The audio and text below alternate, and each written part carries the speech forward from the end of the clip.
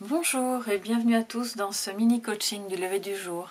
J'espère que vous allez bien, que vous avez passé une belle soirée, que vous avez bien dormi. Nous allons voir aujourd'hui quels sont les, petits messages pour bien commencer la journée.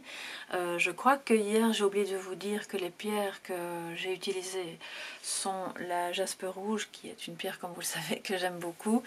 Euh, il y en a une ici aussi mais en version roulée, un rubis et une cornaline qui sont donc les trois pierres euh, de couleur rouge et qui nous permettent de travailler sur ces énergies aussi associées. Et donc j'y reviendrai probablement dans une autre vidéo sur les sur ces pierres-là. Alors, euh, voilà, on va retourner directement les cartes, voir quels sont les messages de coaching pour aujourd'hui. L'empereur, la grande prêtresse et entre les mondes. Alors, je vais rapprocher les cartes pour que vous puissiez voir.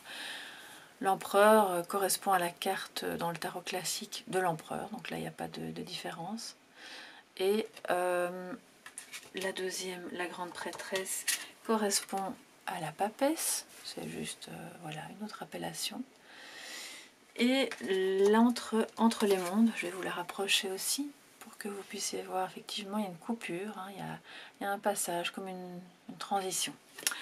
Donc aujourd'hui, euh, c'est un moment peut-être pour faire preuve de, euh, discipline, de rigueur, euh, de se mettre un cadre à soi-même d'abord évidemment, pour pouvoir euh, vous sentir bien dans ce que vous allez faire, d'avancer comme vous le voudriez, de ne pas vous disperser, ou en tout cas peut-être d'aider les autres autour de vous à, ne pas se disperser non plus, parce que l'empereur connaît le chemin, c'est l'archétype du père, il va, il va vraiment être un guide, et, et c'est d'abord le guide qui est en vous pour vous-même que vous devez euh, réveiller aujourd'hui, mais aussi euh, ça peut être d'autres personnes, ou peut-être vos enfants, ou des collègues de travail qui comptent sur vous pour euh, montrer un petit peu le chemin. Et on voit d'ailleurs que il a, il a les yeux fermés, il est, guidé par sa connaissance, par les, euh, le chemin à suivre.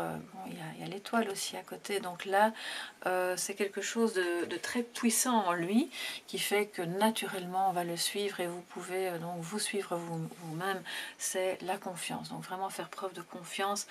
la grande prêtresse à côté vient vraiment bien compléter la première carte dans le sens où c'est la papesse, donc hein, c'est vraiment la carte de l'intuition.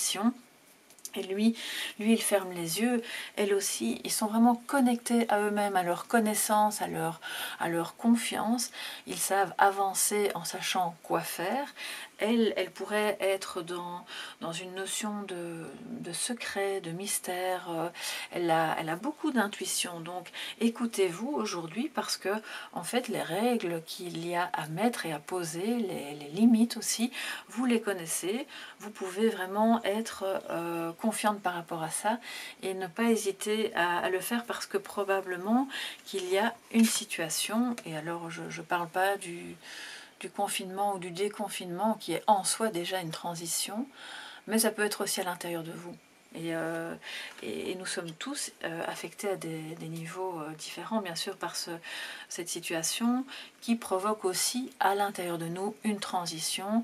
on vient d'un monde, on passe dans un autre, avec des nouvelles règles, avec autre chose à mettre en place pour qu'on se sente bien et qu'on reste toujours connecté à notre sagesse intérieure. La papesse, elle est très sage, elle connaît énormément de choses et elle sait intuitivement comment faire, quoi faire, mais elle, ne, elle va garder euh, secrète les choses un certain temps pour ne pas non plus tout dévoiler. Donc ça c'est important parce que quand on passe d'un monde à l'autre ou d'une situation à l'autre, on n'est pas euh, toujours non plus très sûr de, l'aboutissement, de comment ça pourra se passer, de quels seront les résultats.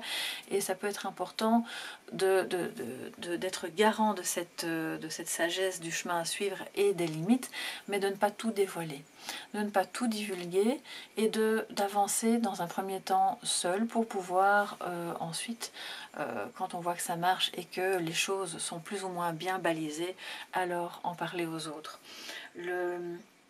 L'entre-deux mondes peut aussi nous dire que peut-être vous aviez l'habitude de fonctionner d'une certaine manière dans une certaine situation ou dans un projet ou avec, euh, des collègues ou avec, euh, euh, votre, votre époux ou avec vos enfants.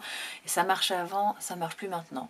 Donc c'est peut-être aussi le moment de vous reconnecter à votre sagesse intérieure, à vos schémas mentaux, voir lesquels ne sont plus bons, en mettre, euh, mettre en place d'autres manières de fonctionner pour pouvoir effectuer cette transition euh, de la manière la plus sereine et la plus lumineuse qui soit parce que à l'intérieur de la papesse il y a la lumière de la sagesse. Voilà, j'espère que ce petit tirage vous aura éclairé, vous aura fait du bien.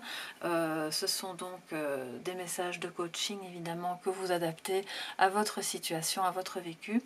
D'ici à demain, je vous souhaite une magnifique journée et je vous fais de gros bisous. À bientôt. Au revoir.